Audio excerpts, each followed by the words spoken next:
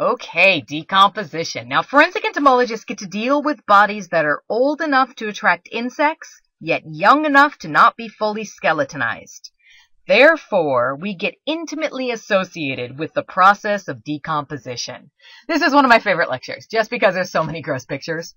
I love giving this lecture to, um, to, oh, intro to forensic science students, to my biology students, to my human biology students, uh, my general ento students, all of those types of students who sort of need a little bit of waking up about uh, what happens in the real world. Now, um, I'm assuming as vets and scientists and entomologists in this class, you guys have uh, some association with these different uh, processes. However, I am required to give you a quick disclaimer. There are gross pictures coming up. FYI. If you are um, easily disturbed by these photos, I'm not sure you should be in this class. I'm kidding. I'm kidding. Just fast forward, I guess. Yay, stages of decomposition. All right, let's do this. So, we're going to talk about the process of death today and what happens to an animal after death. Now, first off, we have this definition of death. Um, the definition of general death is the irreversible cessation of circulatory and respiratory functions and or the irreversible cessation of all functions of the entire brain including the brain stem. Okay, so notice that term irreversible. That means that we cannot restart the heart and the breathing. We cannot re-wake up that brain. Okay, so once those circulatory and respiratory functions cease, it's not necessarily the end. Those initial stages of death are reversible to some extent, and it depends upon the capability of tissues to recover from anoxia, or lack of oxygen. So this the uh, central nervous system, CNS, has the highest sensitivity to anoxia damage. In general, it takes approximately 4 to 6 minutes between the loss of oxygen and irreversible brain damage. With cutting edge techniques, it may between, be between 15 and 16 minutes, but that can vary based on age and temperature at which oxygen was lost. So, in general, if somebody goes unconscious, they are strangled, they are drowning, whatever, they'll usually go unconscious when within about six minutes, and that's when um, brain damage will set in. The brain just doesn't have enough oxygen. Uh, cutting edge techniques will help but the younger that a person or an animal is, and the colder it is when that animal goes unconscious or that person goes unconscious, the more likely it is that there won't be any brain damage. So there was a case, a human case, uh, a while back, um, where a four-year-old boy went under the ice. I think it was in Minnesota. He uh, he was out with his family. He went through the ice at a lake. They couldn't find him for 40 minutes. So he was underwater for 40 minutes. They found him. He was, you know, just cold. He wasn't breathing. His heart has stopped. Everything. Um, they were, you know, got him in the ambulance. They were able to restart his heart. They got him to the hospital. He walked out the next day with no brain damage, no nothing. He was young enough and it was cold enough that everything slowed down and there was no brain damage. That's amazing. So 40 minutes he was able to stay under the ice with no oxygen, no brain damage. So the colder and younger the organism is, the animal is, the less likely it is that you'll have brain damage. The older and warmer it is, however. so you drown in a bathtub, you're going to have problems. All right. Now, just a few terms I'll be using throughout this uh, lecture. Antemortem. Antemortem means before death. So this is while an animal was alive and mostly, shall we say, well. Okay, so antemortem before death. Perimortem means around the time of death, while postmortem means after death. So I'm going to talk a lot, a lot about that perimortem and postmortem activity. What went on right around the time of death and after death. Now, once an animal dies, the normal bodily functions cease and the body begins to break down. So circulation stops, chem the chemical composition of bodily fluids change, digestion ends, uh, the natural bacteria in the gut begins to take over and other animals begin to feed on the body. So we get those uh, decomposers, those transformers that we talked about in the last lecture that come along and try to free up that energy. All of this composition, this homeostasis that the body has spent its entire life trying to maintain just ceases and everything sort of goes out of whack. Now these things happen in a particular order and that particular order is called the post-mortem clock. So the second an animal dies, the post-mortem clock begins. Neat. So the very first thing that happens is the cooling of the body to ambient temperature. So all animals, or at least most animals, humans, everybody, keeps their bodily temperature higher than ambient. Unless you're cold-blooded, then you keep it higher than ambient, right? Okay. So, this phenomenon is called algor mortis. And it is possible for the body temperature to increase in fact, if the environment is hotter than the internal temperature at death or the body is exposed to direct sunlight.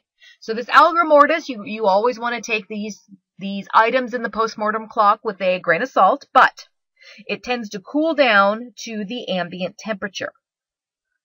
And it cools down at a rate of about one and a half degrees Fahrenheit per hour.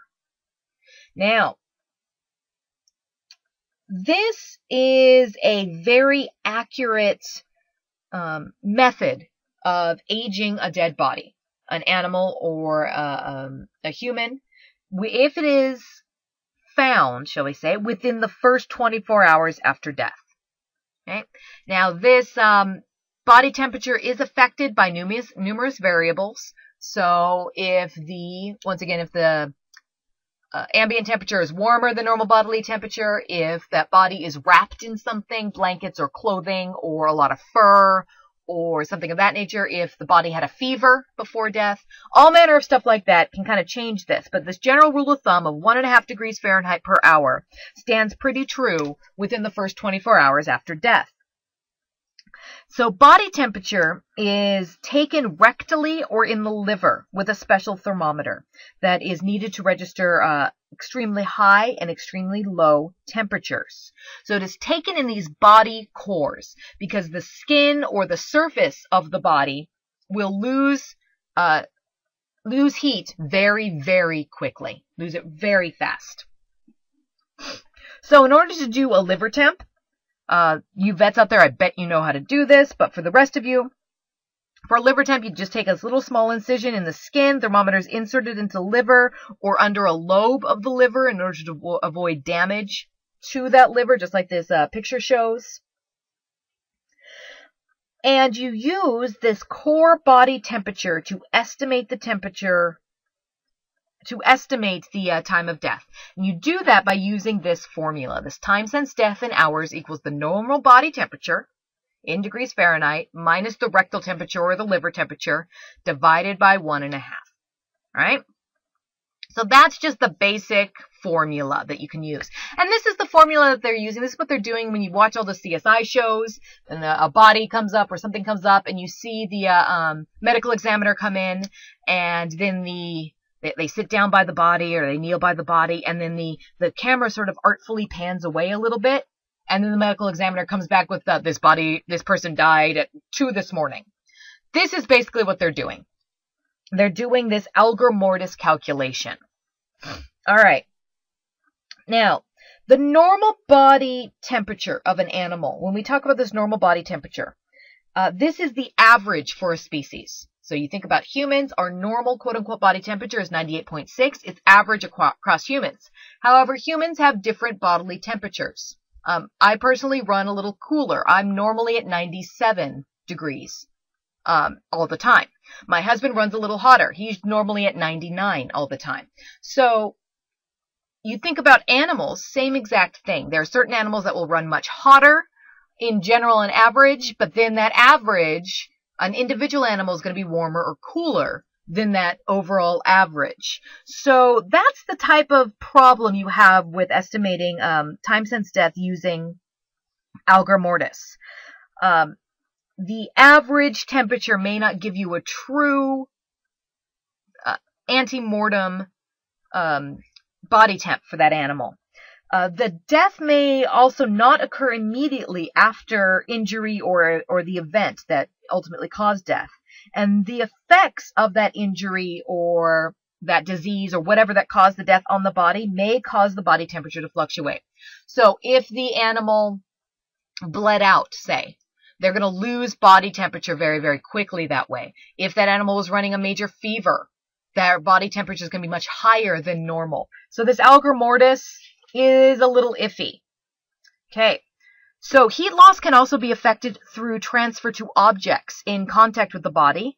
Uh, so if they're lying on a cold stone floor, if they're lying on ice, um, anything like that. Uh, movements of air over the body, if they're in a draft, in an air conditioned home, that can cool down the body very quickly. Fat deposits. Got an overweight animal, a lot of fat deposits on that animal will insulate that animal versus one that is starving, that is very, very skinny, much cooler body temp. There's a lot of body hair or fur, naturally, or physical coverings on the body. So all of those things can affect how fast this happens. So this algor mortis beginning, this is just a rule of thumb, as a lot of these things are. In order to use this in order to um, estimate body temperature, it's recommended by forensic vets that the animal temperature should be taken at the scene and repeated over a three to six hour period to establish the rate of cooling. So once you find the body and then over uh, three to six hours, you know, once an hour or so.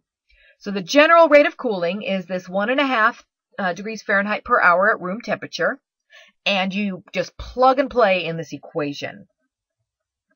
Now, there is a possibility of an initial temperature plateau during the early postmortem period that doesn't take into account changing environmental conditions. This is likely if environmental temperatures are high, uh, if the body or surface um, of the body has some sort of insulation, there's excess body fat, if they've lost a lot of fur, something like that. In these situations, it is recommended to add one to two hours to the postmortem interval uh, estimations in cases in which the plateau was likely. So what you want to do is if you see any of these situations, add an hour or two to your postmortem interval estimation. All right. That's it for this video. You let me know if you have any questions.